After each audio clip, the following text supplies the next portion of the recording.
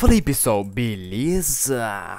Bom, hoje eu tô aqui, cara, em um vídeo diferente, mano, e hoje eu tô trazendo aqui uma parada muito sinistra, cara, tá? No, tipo, eu acho que tá até no título aí, mano, não tá? Parada sinistra, então, é sinistro, é porque é sinistro mesmo, é sério. Hoje aqui, cara, pedido de vários de vocês aí, cara, eu estou trazendo mais uma teoria relacionada a Minecraft, mano. Aí você pergunta assim, cara, mas, tá, que legal, cara, mas por que você tá sem shaders, cara? Eu estou sem shaders porque eu estou aqui no Minecraft 1.11, né, cara, na Snapshot, cara, porque ainda não lançou, então não tem Optifine, então não tem shaders, logo não tem shaders, né, cara, é uma pena, porque eu acho muito feio sem shaders. Mas enfim, cara, eu tô aqui no ponto 11, cara, porque essa teoria é relacionada aos Zillagers, né, cara? Aqueles mobs lá que foram recentemente adicionados. Aqueles mobs lá que eu mostrei no, nos vídeos anteriores aí, cara. Já mostrei umas três vezes ele. Eu já fiz um vídeo de curiosidade, de fatos. Já fiz um testando e já fiz um sobre a Minecon é, quando eles foram anunciados, né, mano? Enfim, cara, e essa teoria tá relacionada ao mundo de Minecraft e aos Zillagers. O que, que eles estão fazendo, o que, que eles querem fazer e, e, e. É, é, pois é. Isso, legal. Então, por favor, cara, se você gostar do vídeo, deixa um like que você me ajuda muito, sério, você me ajuda muito. Você não tem noção como é que me ajuda, cara. Não custa nada pra você, tá ligado? Você perde meio segundo da sua vida. Então, por favor, se você puder me apoiar aí, eu agradeceria muito. Além disso, cara, por favor, também comente aí, cara, é, ideia de vídeo ou ideia de teoria, ou sua própria teoria também, cara. Eu vou deixar seus créditos aí se você quiser colocar sua própria teoria. Ou ideia de vídeo também, que eu também deixarei crédito se você der ideia de vídeo e tal. Mas chega de enrolação, cara, eu tô falando muito aqui, cara. Se você gostar. Ah, já falei isso, tá. Se você gostar. Você como é que funciona, tá? Agora chega de enrolação e vamos logo pro vídeo e falhou.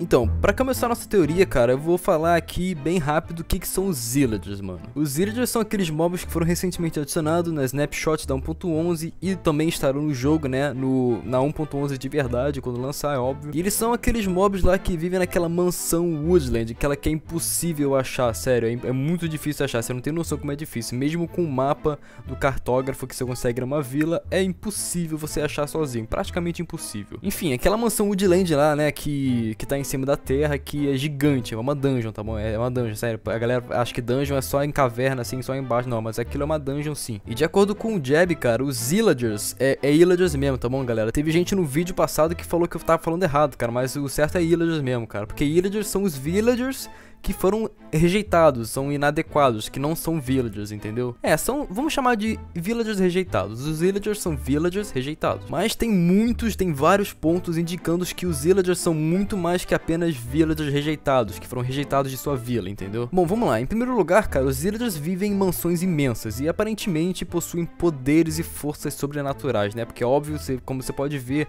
o Evocator, por exemplo, o Vindicator eu acho que não tem, cara, mas o Evocator ele consegue summonar aqueles espinhos, aquelas, aquelas presas do chão e consegue summonar aqueles Vexes também, cara. Ele tem um poder de summonagem, né? E a mansão Woodland, cara, que é aquela mansão que eu acabei de falar pra vocês, né? Que tem muitas salas, que é gigante e tal. Cara, tem algumas delas muito estranhas, cara, que ninguém sabe o que que é. Que, tipo, tem uma sala, cara, que eles se dedicaram pra construir uma estrutura só pra um animal, só pra uma galinha ou pra um gato. É sério, cara. Se você passear aí pela Woodland, pela mansão Woodland, cara, você vai ver que tem umas, é, tem umas salas que tem uma estátua de um gato ou de uma galinha. E já que possui salas apenas com uma estátua desses animais, cara, eles seriam os seus ídolos. Eles são os ídolos dos ídolos, né, cara? E os ídolos são uma imagem, e nesse caso é uma estátua de animal, né? Para representar um deus ou um objeto valioso, mano. Ou seja, a presença desses ídolos nos diz que os ídolos podem fazer parte de um culto organizado. E por que esses ídolos são gatos e galinhas, eu não sei, ninguém sabe na verdade. É estranho, cara. Galinha, sei lá, galinha pode ser, mas gato, eu não sei a relação, o que, que pode ser com gato com villager, mas ok, mano, com gatos também, né? Enfim, uma outra sala que também tem, cara, que a mansão tem, é uma sala meio que de, sei lá, de reunião. Tem umas cadeiras e no meio, cara, no meio da sala tem um mapa. E esse mapa parece muito com um mapa, tipo, normal. Um mapa que tem grama e água. Tipo o mundo do Minecraft, né? Que eles têm um mapa do mundo do Minecraft. Isso sugere que os villagers, cara, devem estar trabalhando algum tipo de, sei lá, conspiração e... Cara, alguma coisa mal, né?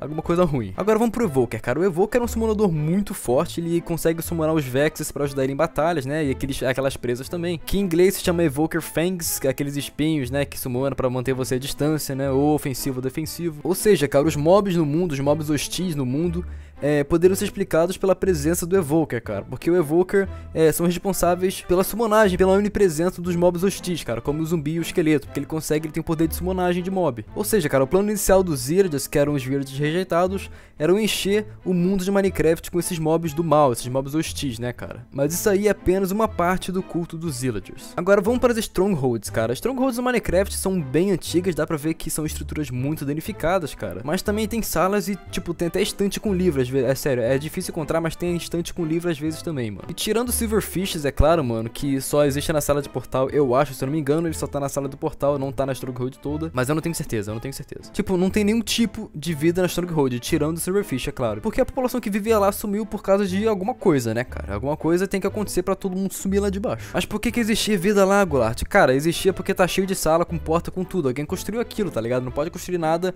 é, e, ir embora, sei lá. E a Stronghold também contém aquela sala do portal, mano, que é a chave dessa teoria, cara. Mesmo que o portal esteja fechado, a fenda entre o Overworld e o The End ainda existe. Isso é percebível porque os Endermans conseguem se locomover entre essas dimensões por essas fendas, cara, e por isso há Enderman no Overworld, mano. Porque na verdade não era pra ter Enderman no Overworld, só no The End, que é onde que ele vive, né, cara? Você vai lá no The End só tem Enderman, é só, só Enderman e o Ender Dragon, é claro, né? Há muitos anos atrás, cara, os Villagers atacaram as Strongholds e acabaram com todos os Villages, todo, deixando a fenda de teletransporte sem nenhum controle, né? Então por isso que eles conseguem fazer essa parada. E como eu disse, foi possível com isso fludar o overworld de Endermans e aumentar a força da influência do Ender Dragon aqui. E o objetivo final do culto dos Villagers é preencher o universo com a força da destruição, cara. Com o poder de summonar os mobs, eles podem fludar o overworld de mobs e fazer a destruição dominar o mundo do Minecraft, tipo o mundo overworld, o mundo, o mundo, o mundo, né? O mundo, é. O Ender Dragon, no entanto, é onde a verdadeira força de destruição habita, cara. Tipo, o Ender Dragon é a mais pura e concentrada forma de destruição, não tem mais nada destrutível, destruível